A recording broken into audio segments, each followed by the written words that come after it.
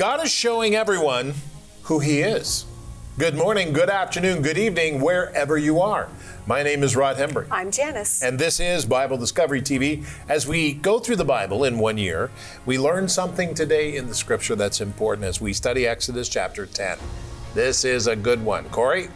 I'm actually going to be taking a look at Exodus chapter 8, specifically the plague of gnats. Ryan, how about you?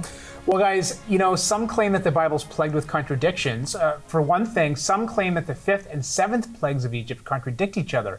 We're going to see if that's true or not a little bit later on. Very good. Look forward to that. What did you do, Jen? It must be a plague kind of day. My segment's called plagues. All right, very good. Well, this is a good time to study the scripture. Get your Bible out, turn to chapter 10 of the book of Exodus. It's a, a great book, and let's study what God is doing here because God is speaking to us. Let's listen to what He says.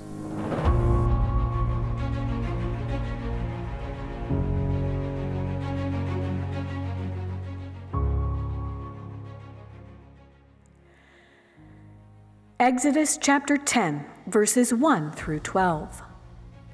Now the Lord said to Moses, Go in to Pharaoh, for I have hardened his heart and the hearts of his servants, that I may show these signs of mine before him, and that you may tell in the hearing of your son and your son's son the mighty things I have done in Egypt, and my signs which I have done among them, that you may know that I am the Lord.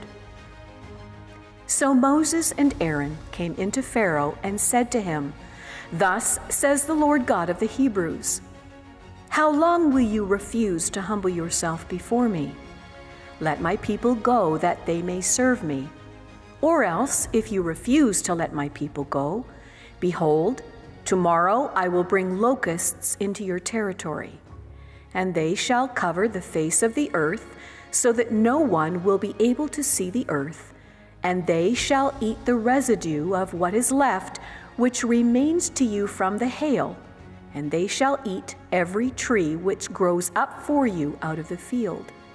They shall fill your houses, the houses of all your servants, and the houses of all the Egyptians, which neither your fathers nor your fathers' fathers have seen since the day that they were on the earth to this day. And he turned and went out from Pharaoh. Then Pharaoh's servants said to him, How long shall this man be a snare to us?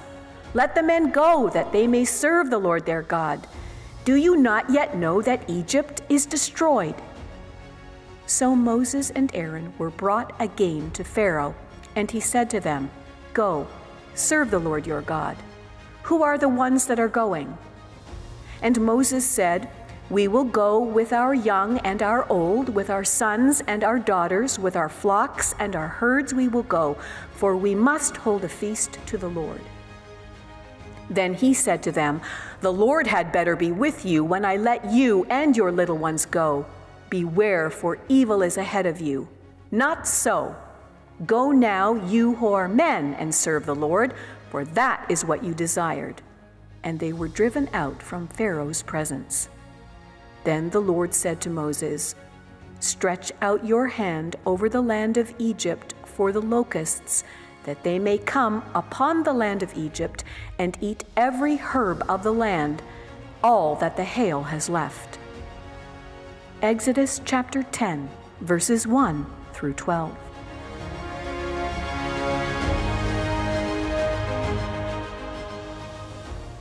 You know, I remember talking to someone when I was pastoring. It was great. And he was a negotiator. You know, he was somebody who specialized in negotiation. And he always said, you know, I, I negotiate. Somebody says something to me and I negotiate with them. But, you know, let me ask you a question. When God gives a command, why won't we listen? Why won't He listen to our negotiations? Now, when God lays out His will, sometimes we try to figure out how we can still get what we want. But what if we give God just a little bit less than what He wants, like we're negotiating? God does not take second best. So when we fail to respond appropriately to His word, there are consequences. Now, does this make God judgmental or domineering? That's what we often hurl back at someone who refuses to negotiate in a way that makes us happy. But remember that God's care is for us, God is not against us. You see, God is not giving commands because He needs something from us, but rather because He knows how we need to change our own betterment. Really. God has purposes for us, and we won't be truly well or whole until we follow Him to fulfill those purposes. God also knows our weaknesses. In the case of Exodus, God did not change his demands of Pharaoh because he had not created Israel to be slaves, nor any man for that matter. In the book of Genesis, it says, have dominion over the animals, but not over each other. Very interesting. Now, as we begin to think this through and understand it, we see a difference between human nature and the nature of God. Human nature is very, very bad, and the nature of God is excellent and perfect. Many times we don't see that nature because we're trying to judge His Bible in human nature, and we can't do that. Get your Bible guide, turn to today's passage because it's excellent. Reading Exodus chapter 10. And if you don't have a guide, we'll send you one. If you want one, we'll be happy to send it to you. It's all new material this year. And uh, you can also go to BibleDiscoveryTV.com. BibleDiscoveryTV.com is a great place. Click on it, and it'll take you to a donate page. Thank you for your donations. Also, just want to mention that we have a prayer meeting three times a week Monday, Wednesdays, and Fridays at 3:30. So uh, make sure you join us for the prayer meeting. That's very, very important. 3:30 to 4:30. Uh, Monday, Wednesdays, and Fridays will be there. Now, Father, I pray today that as we look at the locust and the eighth plague, that we see that, you know, we don't start making excuses. Well, how come God made Pharaoh's heart strong and all that business?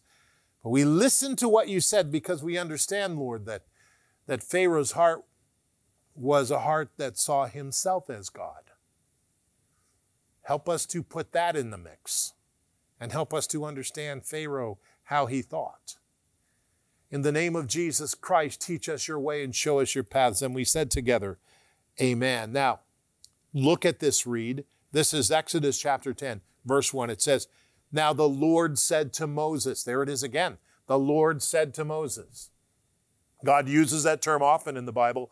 The Lord said to Moses, Go to Pharaoh, for I have hardened his heart and the hearts of his servant, that I may show these signs of mine before him.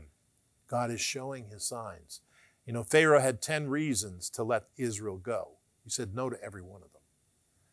Verse 2 And that you may tell in the hearing of your son and your son's sons the mighty things that I have done in Egypt, and my signs which I have done among them, that you may know. This is very important. God says, My signs which I have done among them, that you may know that I am the Lord. That's very important. Now, remember, God is showing who God is to everyone. That's what he's doing. He's showing himself to Israel. And the Lord is speaking to the people through his actions. Now, let me ask you a question. Everybody says to me, why does the Lord just show up on CNN? Why doesn't the Lord just show up on Fox News? Just show up on ABC, CBS, NBC. Just show up on CTV and CBC and the rest of it. God has done so much for us. Showed up in his own Son, Jesus Christ, in which the Holy Spirit fathered, fully God and fully man. We refuse to believe it, but I believe it. What about you? Who lived a perfect life. And he was sentenced to death. We sentenced him to death, and he allowed it on the cross. As a result of that, he was killed. And by the third day, he rose up from the dead and came alive in the flesh again and showed himself to over 500 men before he ascended to heaven. And he said, If you believe in me, then I will give you eternal life. You see, that's the, gospel of Jesus Christ. That's what God did. Let's go back to what else God said in verse 10, chapter 3. So Moses and Aaron came into Pharaoh and said to him, Thus says the Lord God of the Hebrews, How long will you refuse to humble yourselves before me? Let my people go that they may serve me, or else if you refuse to let my people go, behold, tomorrow I will bring locusts in your territory, and they shall cover you face or cover the face of the earth, so that no one will be able to see the earth.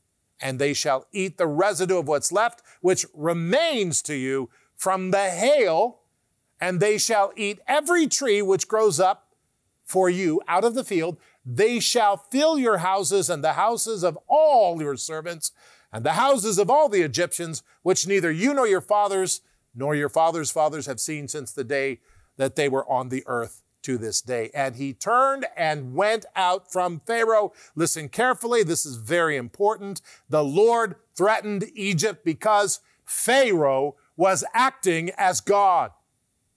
Our hearts must always be humble and obedient to the Lord, beloved. Now, since we're here, let's go on to the next scripture. Exodus chapter 10, 7 says, Then Pharaoh's servants said to him, How long shall this man be a snare to us? Let the men go that they may serve the Lord their God. Do you not know that Egypt is destroyed? So Moses and Aaron were brought again to Pharaoh, and he said to them, Go serve the Lord your God. Who are the ones who will go with you? And Moses said, We will go with our young and our old, and with our sons and our daughters, with our flocks and our herds we will go, for we must hold a feast to the Lord. Then he said to them, Well, the Lord had better be with you. When I let you go and your little ones go, beware, for evil is ahead of you. Not so. Go now, you who are men, and serve the Lord, for that is what you desired. And they were driven out from Pharaoh's presence. And then the Lord said to Moses, Stretch out your hand over the land of Egypt for the locusts, that they may come upon the land of Egypt and eat every herb of the land, and all the hail has left. You see, God negotiates. God does not negotiate. His command is His command. The Lord knows the future and is able to help us. Listen to me carefully, beloved. God knows our future.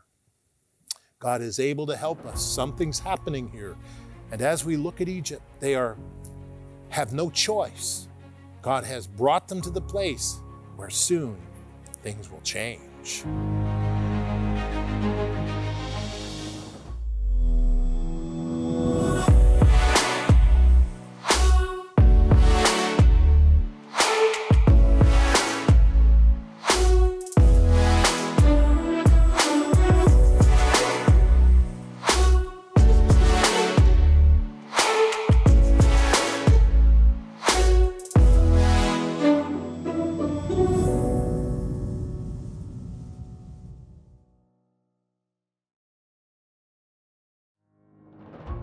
Well, it's time now to carry on with our Bible study, and today I'm focused on Exodus chapter 9, and we're right in the midst of the 10 plagues of Egypt.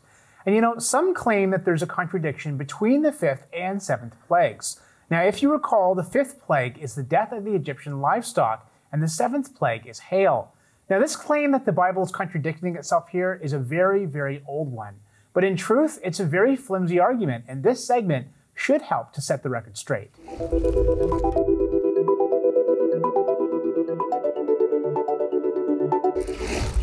Exodus chapters 7 through 12 document the 10 plagues which God brought upon the Pharaoh and his people for refusing to let his people go. In chapter 9, however, there seems to be an inconsistency. That's because in the fifth plague, God brings disease upon the Egyptians' cattle, and verse 6 records that all the livestock of Egypt died. However, just a few verses later, in the seventh plague of hail, God warns Pharaoh to gather your livestock and all you have in the field, for the hail shall come down on every man and every animal which is found in the field and not brought home, and they shall die. So if all the livestock of Egypt died in the fifth plague, then how can God be warning Pharaoh to bring his livestock in from the field for the seventh plague? Actually, the alleged inconsistency arises not because of any biblical shortcomings, but rather from a failure to read the text carefully. In the fifth plague, all the livestock of Egypt that were in the field died, says Exodus 9:3, this is what the all refers to in verse 6 all that were in the field in the land of Egypt. Those that were not in the field presumably survived. and are seen again in the seventh plague, along with any new livestock that may have been acquired in the intervening time. Indeed, the Bible does not tell us how much time transpired between the fifth and seventh plagues, and so it's possible that in addition to the livestock which remained alive, more were acquired either from the Israelites in the land of Goshen or from surrounding territories such as Libya, Ethiopia, and Canaan. So any livestock not in the field during the fifth and seventh plagues would have survived, though the firstborn of them would later die in the tenth plague. Where is any inconsistency?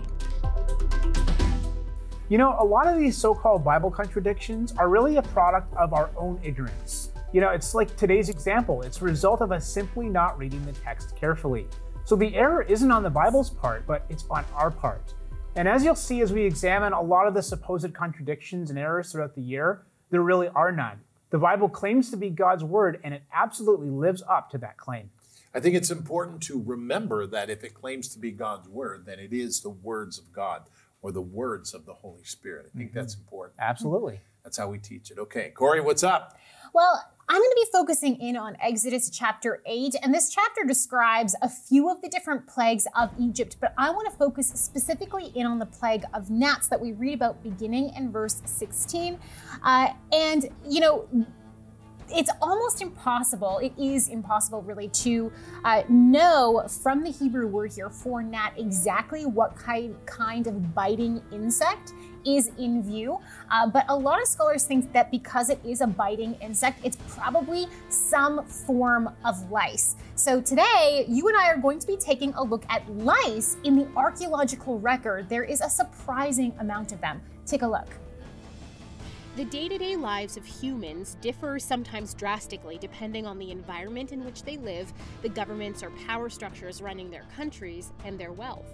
While these differences today are made even greater by technology or its absence, it's also technology that has allowed us to see problems that have always plagued humanity, regardless of status or time.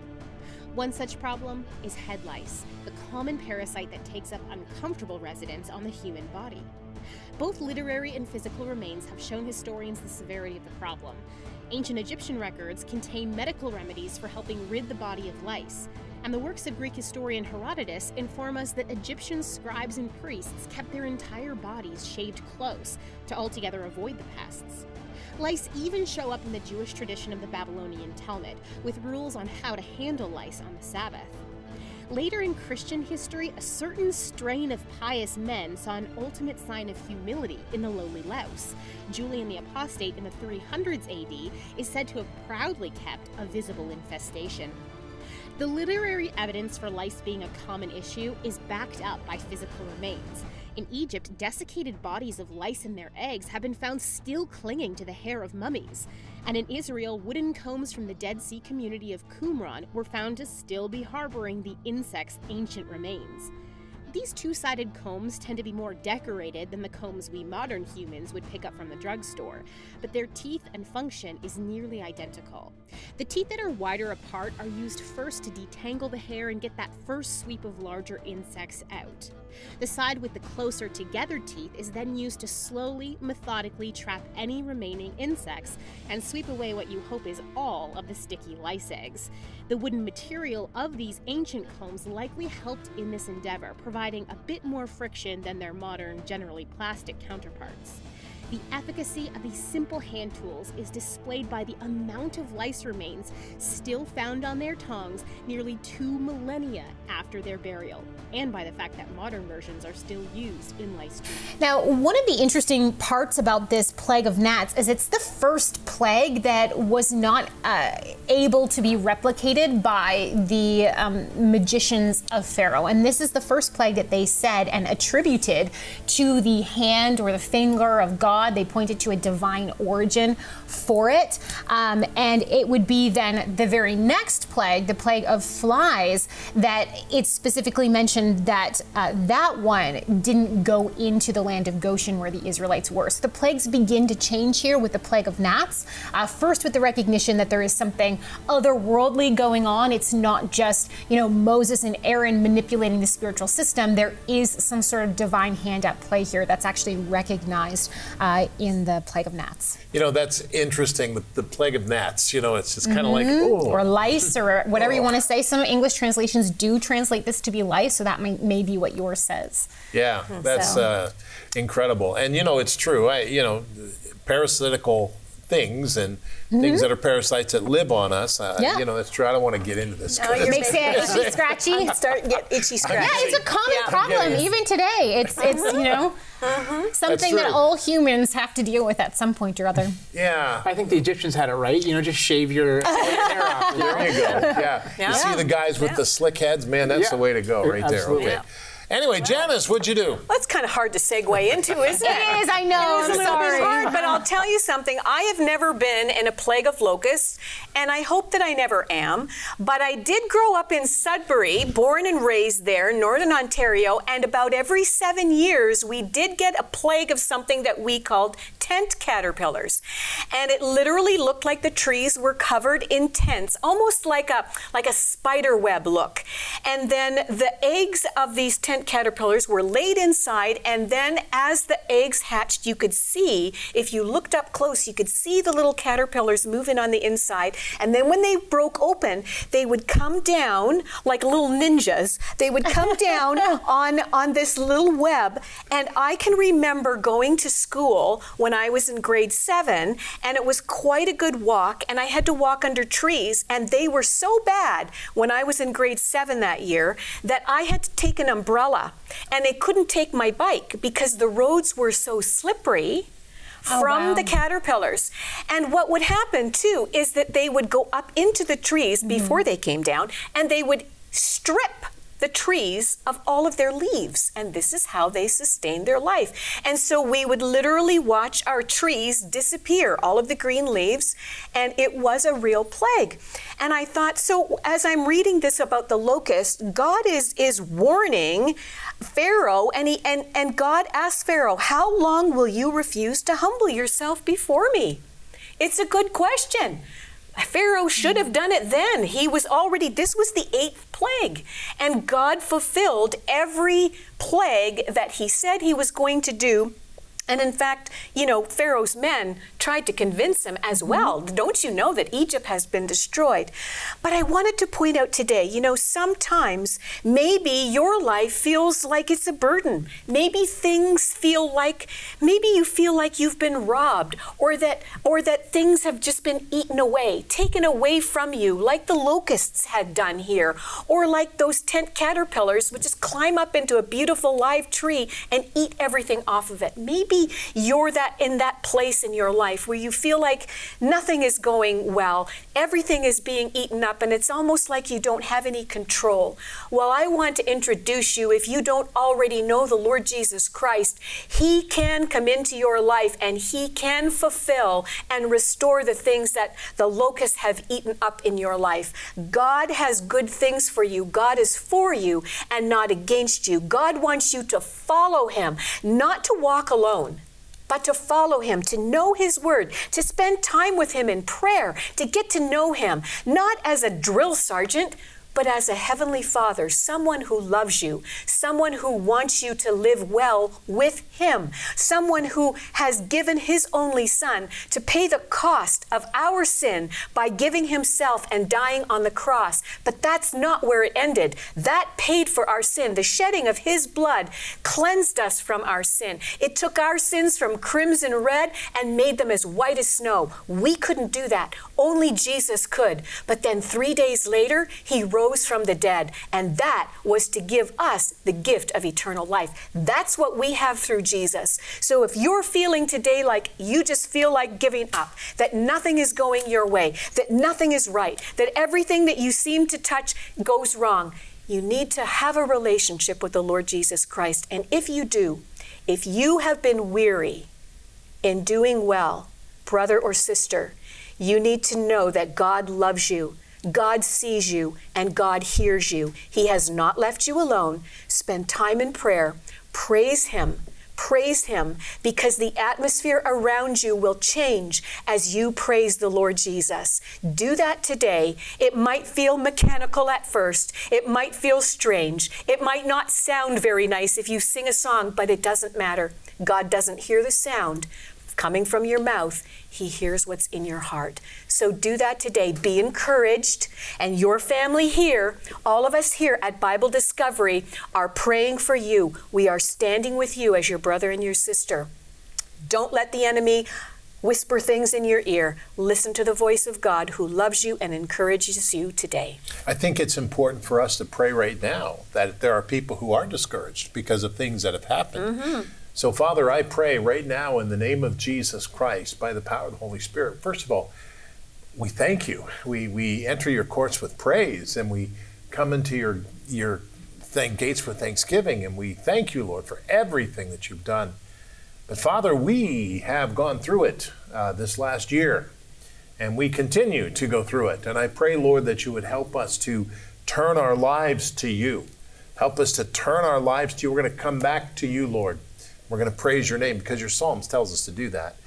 So, Lord, help us, help us, help us. We need to feel your presence. Holy Spirit, come into our hearts and come into our lives and be with every single person who's watching this program. The, the people who are saved, they're saved from the ravages of hell. The people who are not saved, bring them to you, Lord, because it's time for us to get right with God. And I pray in Jesus' name that we would do so right now and today. In the name of Jesus Christ, I ask this, and we all said together, Amen and Amen.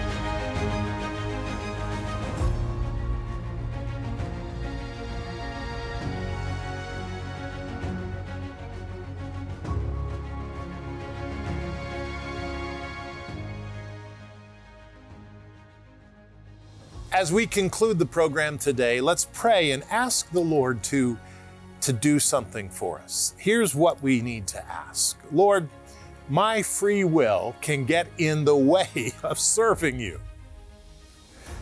Help me to follow you and help me to do so with all my heart, with all my mind, and with all my strength. Because, Lord, that's the only way to serve Jesus Christ. In your name we pray, and we said together, Amen.